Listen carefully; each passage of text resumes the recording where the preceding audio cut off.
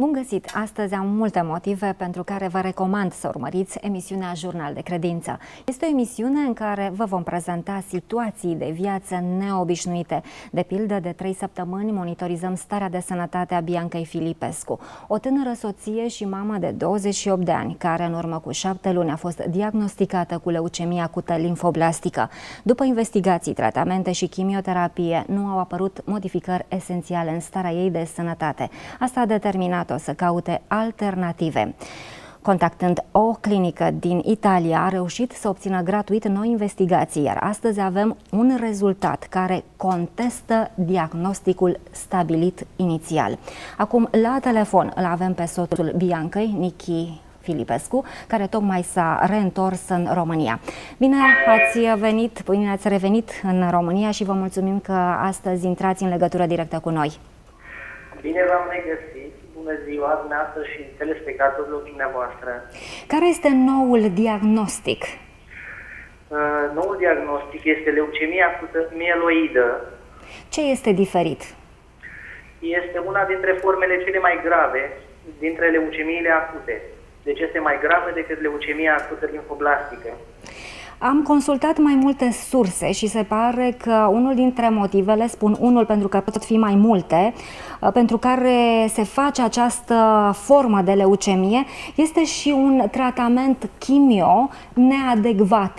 În cazul Biancăi, credeți că poate fi vorba de așa ceva, având în vedere că timp de șapte luni s-a aplicat un tratament uh, care mm, era pentru o altă boală până la urmă? Uh, da, deci tratamentul a fost pentru leucemia acută limfoblastică, iar efectul nu a fost cel așteptat, pentru că s-a tratat altă boală. De asta probabil nici nu a apărut remisia care se aștepta, de fapt. Da, de aceea. Remisia trebuia să fie la cel mult o lună, două maxim. Iar acum ce se întâmplă în Italia? Ce face, ce îi se face? A început uh, uh, tratamentul chimioterapeutic? Da, de sâmbătă a început tratamentul cu citostatice. Până sâmbătă, timp de 3 zile, cred, 4 zile, nu mai rețin exact, s-au făcut numai analize, deci sânge, prelevări de măduvă și au diagnosticat cu leucemia acută mieloidă. Tratamentul este pentru leucemia acută mieloidă. Și înțeleg că este ceva mai agresiv. Car... Da, este, da este mult mai agresiv decât ce a avut până acum. Care este starea ei sufletească? Ce să vă, pot să vă spun că la început, când a aflat diagnosticul, a fost chiar un șoc pentru ea, pentru e destul de documentată pe tema leucemiei și uh, având o boală așa de cumplită, normal că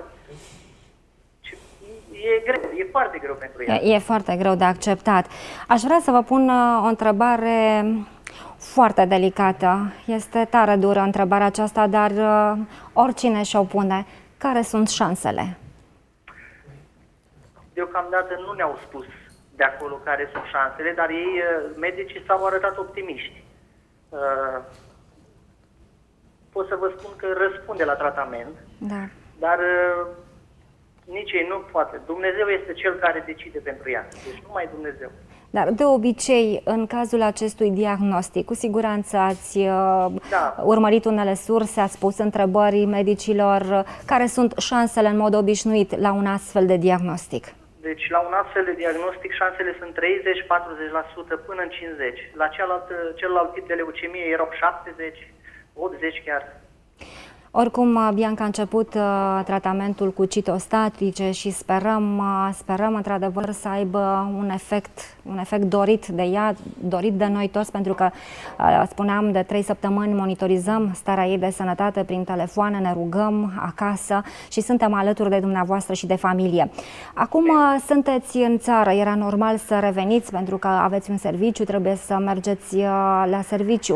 Uh, cine se va afla în perioada următoare lângă ea?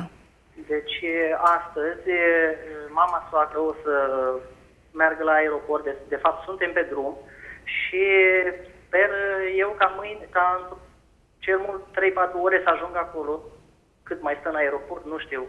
Și o să rămână cu ea acolo, nu știu pentru cât timp.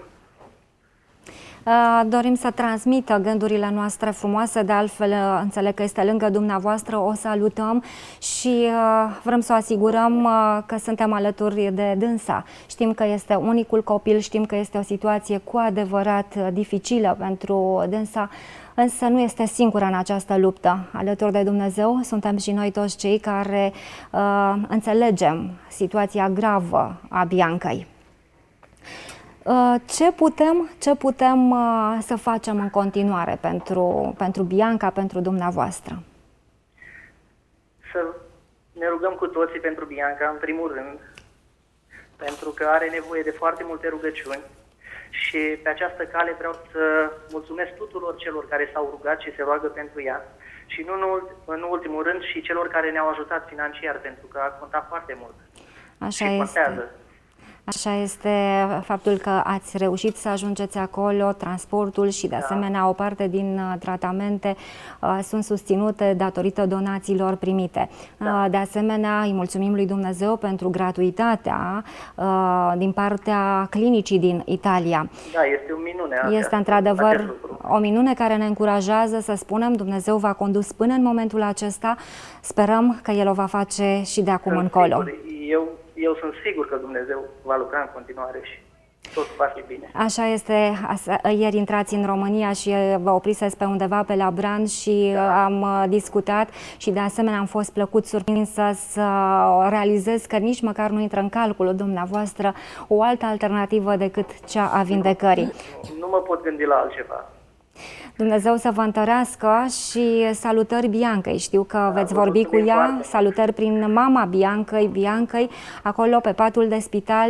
Ea trebuie să știe că alături de Dumnezeu suntem și noi toți cei care ne rugăm aici acasă.